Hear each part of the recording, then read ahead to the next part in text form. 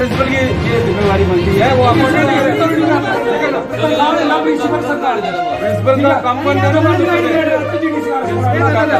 Principal किसका अरे क्यों नहीं आता? सर बेटे नहीं आता सुन लो ना पहले। सुनाओ। ज़बरदस्ती थोड़ी होता है।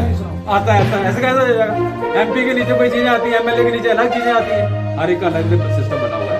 इसी तरह से प्रिंसिपल जो है वो आपका सैलरी यूनिवर्सिटी से नहीं लेता है। हायर एजुकेशन डिपार्टमेंट है, वहाँ से उनकी सैलरी ड्रा होती है वहाँ का समझा ना वो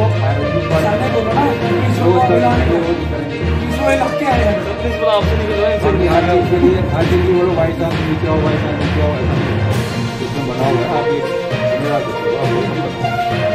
आज आपने लीडर बन के लीडर आपने करना आपने करना है मेरे को बताओ करना है मैंने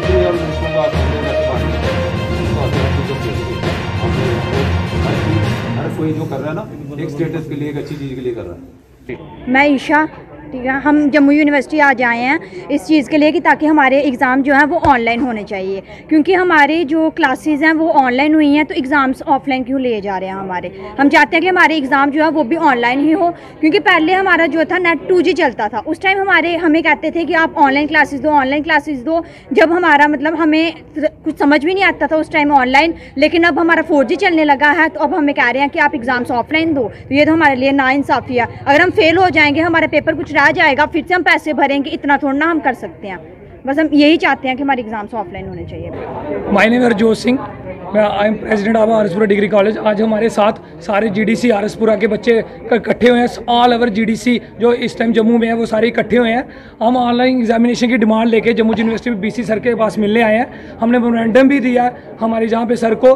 और सारे बच्चे जहाँ पे इकट्ठे हुए हैं ऑनलाइन एग्जामिनेशन की डिमांड को लेके हमें अप्रैल चौदह की नोटिफिकेशन निकाल दी है। ना डेट शीट निकालने वाले हैं एग्ज़ाम के रिलेटेड और बच्चों को ऑनलाइन एग्जामिनेशन पढ़ाया जा रहा है। ऑनलाइन पढ़ाया जा रहा है। सब पेपर ऑफलाइन लिए जा रहे हैं। ये कहाँ का कानून है कि पढ़ाओ आप ऑनलाइन तो पेपर लो आप ऑफलाइन पेपर भी ऑनलाइन लिए जी ना? क्यों नहीं लिए?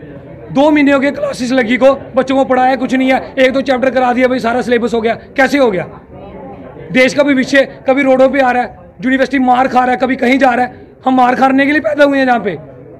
हम पढ़ने के लिए आए हैं जम्मू यूनिवर्सिटी में। हमारा दिल नहीं करता टेस्ट करने को। अगर जम्मू यूनिवर्सिटी हमारे साथ इंसाफ करेगी, हम भी इनके साथ कंधा लगा के कंधा चलेंगे। जम्मू यूनिवर्सिटी हमारे साथ गलत करेगी, हम खिलाफ चलेंगे।